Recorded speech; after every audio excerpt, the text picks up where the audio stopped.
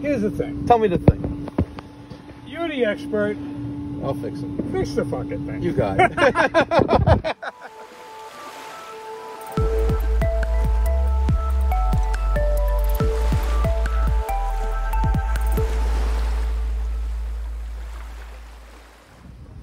Am I at the right house? Am I at the right house? You're at the right place. You got a, a Jandy pool heater? Not working? Let's go take a look. Mechanically actually- inclined. You even got a little press there. I actually, Have a control board. but I don't think it's the control board. Yeah, generally it's not. I think it's the pressure switch. Tell me what it's doing. What is it telling you? It's telling me that there's something wrong. does it have an LED display on it? It does. So what does it say is the error? It says You're screwed. ignition something. Ignition failure? Yeah. Oh, that's not pressure switch. You'd have check flow if it was pressure switch.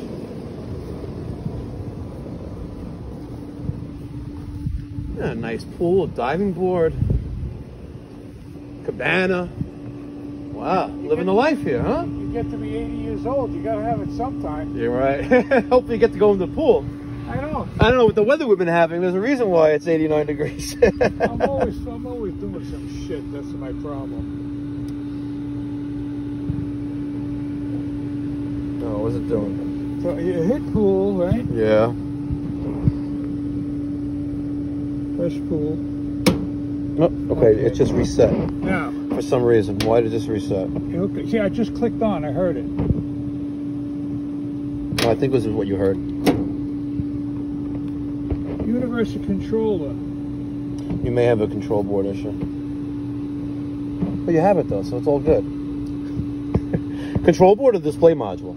Okay, so here's the thing. Tell me the thing. You're the expert. I'll fix it. Fix the fucking thing. You got it. all right. So one of the first things I look for is size, 325,000 BTUs, date 8 2012. Then we look to see any corrosion or rust inside the combustion chamber. Just have, we have no rust. Uh, we have a little bit of rust back there. Okay. Uh, she needs a good cleaning. But considering it's exactly 10 years old, not too shabby. What I don't like is this controller not letting me do anything with it. All right, that's the display module. See, plugs in right there, user interface. So let's just power cycle it. So if you're unfamiliar with pool equipment, we generally have a main panel. And here, this is your, your timer box. You have two timers here, right? For two different pumps possibly. This one's labeled fireman switch. This is labeled towel, tom, timer one. We got breakers, so we have some outlets. This is a pump. This is a receptacle outlet. Let's turn power off. Okay. Luckily everything's marked. Have no power. So now, let's go back to it. Turn that back on. And, okay. So the water is 87. We're set to 89 and she should call. She's calling. She should be on. All right. So it should be on. Let's see if I can raise up the temperature a couple degrees. Set that to 92. And right here, that's our hot surface igniter. right? Similar to like a furnace. And you can see the glow. There's the glow. So we'll see how it click hopefully shortly thereafter pressure switch up there. We'll take a closer look at that. It senses water flow, pressure, and as long as that's closed and senses pressure, you know, the ignition cycle will occur. We have a rollout switch over here. So as long as the safety circuit, all right. And I have, I had ignition briefly, real briefly for a split second there a very long delay in startup there. All right. We may have to take a look at incoming gas pressure and we'll test that right there. and then after there to see if maybe the gas valve is effective. So this gas valve, three quarter in, three quarter out. There's that. We have another ignition sequence occurring. All right, let's wait for it. We're gonna hear a click shortly. The click will be coming from the gas valve.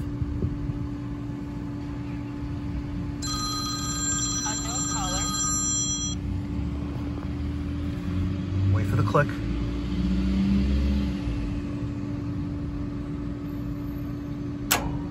There's the click. But a very long time, a very long time before actually gas is flowing through the gas valve into the burner tray, the burner tubes, all right?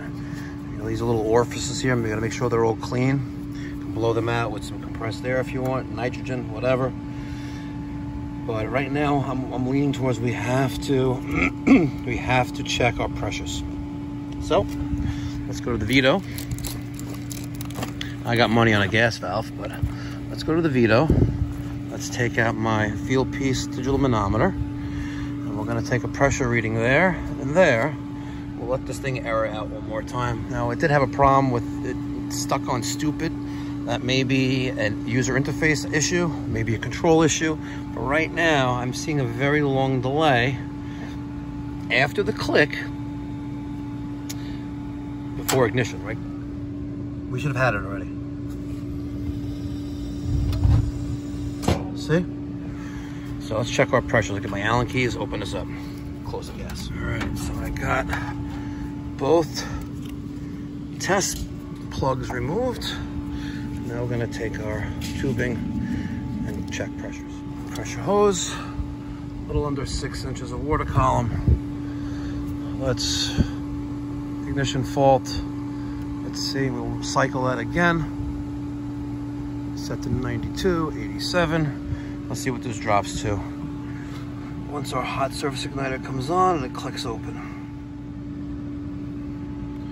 Let's wait for that to click open.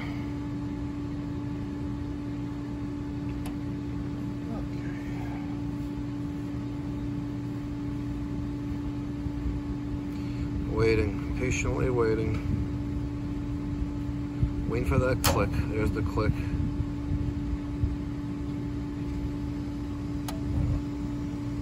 Five two seven five one nine. Okay. Now, now I have my tubing hooked up to the outlet side of the gas valve.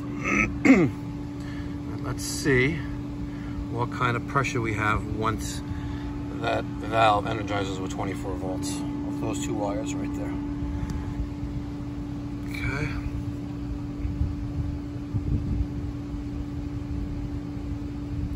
It.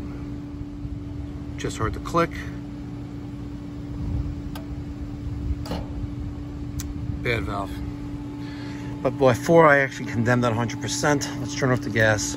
Let's get a voltmeter on here and see if we're getting really 24 volts. All right, I did that quick. There's my voltmeter, the two leads from the gas valve. We're not gonna hear a click because the gas valve is not wide anymore, but we're waiting to get 24 volts.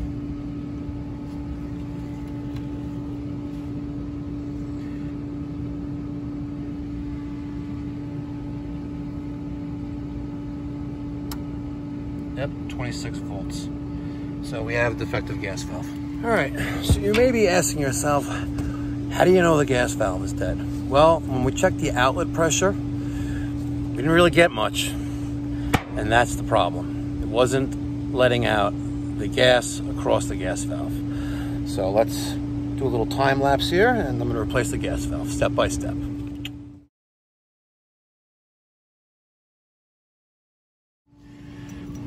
One of the things you have to make sure of when you are working with gas piping, the International uh, Fuel Gas Code, I'm talking about threads. If you have any damaged threads, you cannot reuse that. So this one looks fine. The fittings look fine. And on the union also looks fine. So it's totally acceptable to reuse this. Now, if I wanted to, I could replace the, the union and the nipple, but according to International Fuel Gas Code, we're good.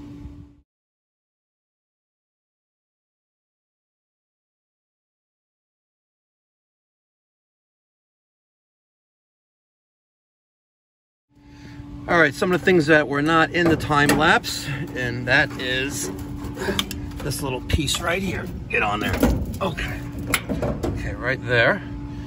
That's that gas valve bracket. I plugged in this little doohickey right there. This is the adapter because this says MVPV, MVPV. So this takes the two wires that are coming from the system and makes it two with that little jumper you see right there. It comes with the gas valve. All right, we're gonna turn the gas on and we're gonna turn the power.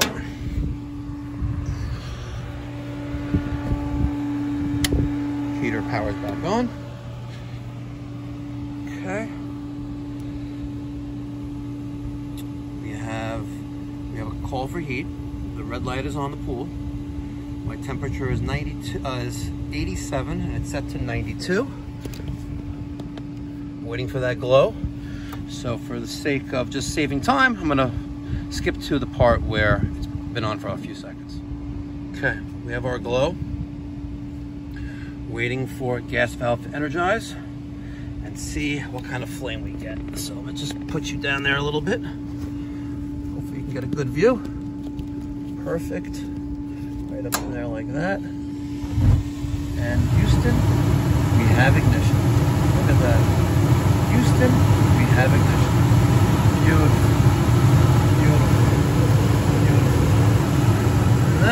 Gentlemen, that's how you diagnose defective gas valve on not just a Jandy, you know, Zodiac. All right, this is the LRZ 325, but all gas valves, similar principle, hot surface ignition. We tested, we verified the amount of gas pressure coming in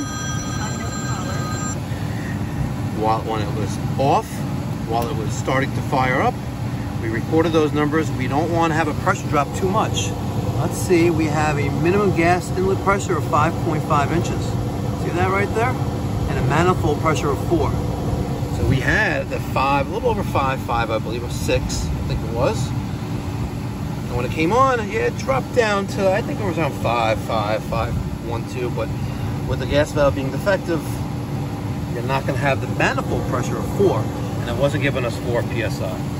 That was a problem. Problem solved. Another satisfied client. So, thank you so much for watching. If you found this video educational and it helped you diagnose a customer's pool heater, I'd really appreciate it if you smash that thumbs up button and hit the subscribe. Subscribe to the channel is no cost or obligation. Just click the subscribe button down below. Thanks for watching. Be well. God bless. Stay safe.